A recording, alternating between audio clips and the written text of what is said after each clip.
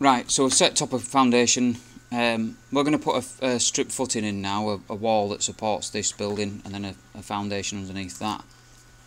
If you just click on your 3D view, um, just on here, just navigate, if you shift and scroll wheel, just click where it says bottom, we want to be the underside of it. And we're going to draw a wall um, along the centre line of the existing wall. So that's the roof overhang, and that's the main wall there. I'm just going to just set this to consistent colours if you like so you can see a bit more what's going on. Now you could do this in a plan view, a level naught view, and it'll give you an error saying you can't see what you're drawing because you're drawing it on top of foundation. So you could draw it on top of foundation or whatever, but I'm, we'll just stick with a 3D view for the time being. Um, just click on your wall tool, and from here we're going to set what's called a footing, this 300 footing wall. Now there's one thing that Revit does here that I found particularly irritating, it does it with some columns as well. When you select a footing, it instantly gives you a base offset of minus 4000. So it's saying, right, I know you're going to want to go down with this uh, wall, so we'll go down by, by 4000. So for instance, if we were drawing normally, and I were clicking here on level 0, you can see it's going down un underneath the house, right? So it's automatically put in a 4000 minus 4000 base offset. I showed you earlier on how to do a top offset. Um, similarly, there's a base offset and a top offset, but you can imagine how they work. So I'll just select those. We don't want it to have uh, a base offset at all. We want it to be constrained. The bottom level, the bottom constraint wants to be top of foundation or top of concrete, and the top constraint wants to be level naught. So I'm just going to go into a 3D view, which is where you you'll be. And uh, I've got a wall. I've got 300 foundation footing. I want the base constraint to be nil. I want the base, sorry, the base offset to be nil. The base constraint to be top of foundation, and the top constraint to be level naught. And all I'm going to do is, because I've got wall centre line checked, I'm just now going to trace over the centre line of the wall and then I'll pan down, get to that. It'll snap to the end point. It'll snap there, and it'll snap there. There you go. And then I'm in a 3D view, so I'm just going to orbit round, and I can check in a elevation that that's exactly between the two level markers that we wanted. So yeah, I find that slightly problematic when Revit puts certain default settings in, so keep an eye on that in future. Maybe they've updated that in other releases. I, I don't know. Um, all we're going to do now is put a, a strip of concrete underneath. Uh, that's easy done. Just go to your structure tab. click on, we're going to do a foundation wall. Um, I've expanded that so you can see underneath. That's how it's going to like. It's going to be uh, some concrete underneath. I'll just check where we are on the... Uh, we're on number 67 now on the handout. and we're going to uh, choose a, a wall what we're going to do is we're going to change the thickness of it. Um, now, the reason I'm doing this is this is how you change, you customise things in Revit. So just click on Edit Type. That's all well and good. And what you'll do is we're going to duplicate the uh, existing family, the existing wall, if you like. So click Duplicate and just call it Strip Footing.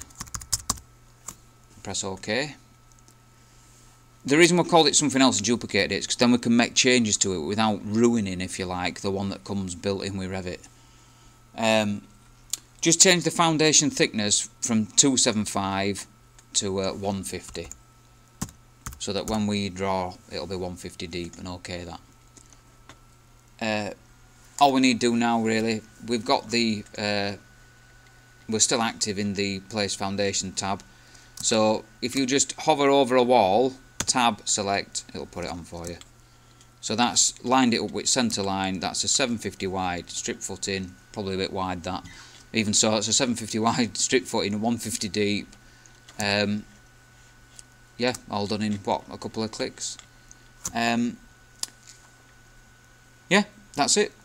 So also when you're working in Revit just notice this um, status bar at the bottom. When you're in certain tools it often gives you, like there it's saying click to enter wall start point, it often gives you a little prompts what to do next and that kind of thing.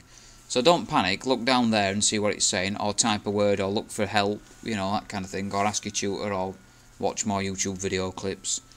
Um, so that should help you in class. Uh, we're going to do renders and that later on.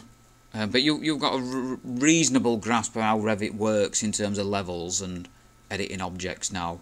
In future, usually it's getting doing more complex shapes, stairs, and making it look pretty for people. Book 3 is all about making it look presentable, setting things to scale and stuff like that.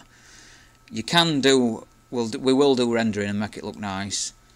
Um, I'll show you like it says on point number 73, you should really be reading this handout as well, but on point number 73, just go to a level 0, um, under view, just click, drop, down, click camera, click somewhere away from your building, somewhere the other side, that's giving us a perspective view of the building. Just uh, expand these if need be. If you want to change that, over here you'll have a uh, navigation wheel, just click that, move it over here. So if I left click and move around on orbit, and let go, left click and move around on zoom, left click and move around on pan, you know, that kind of thing, I'll close that. Uh, what you can do in your view command, you can do what's called a render. So if we shade this realistic, that's um, nothing like what a render looks like. Um, we'll do render here, keep it set as draft, just choose render. You're supposed to I'll show you later on, you're supposed to change settings for, you know, the light source and all that kind of stuff. It looks terrible and glitchy because it's not done many samples. We've just got it set to draft quality. We could set it to medium quality and try it again. Rendering takes usually a long time. Imagine it full of glass and shiny surfaces and light sources and stuff like that. It's a nightmare. This is when the actual power of your computer gets uh, tested. Rendering is using your computer processor a lot when you're in Revit moving around things and it's lagging like hell, that's not actually a processor really, that's your graphics card. Uh, so you need a good graphics card and a good processor, and of course both cost money.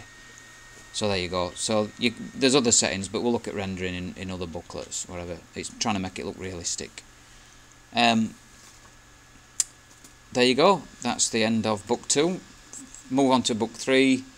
There's a video tutorial for it and a handout and uh, yeah fill your boots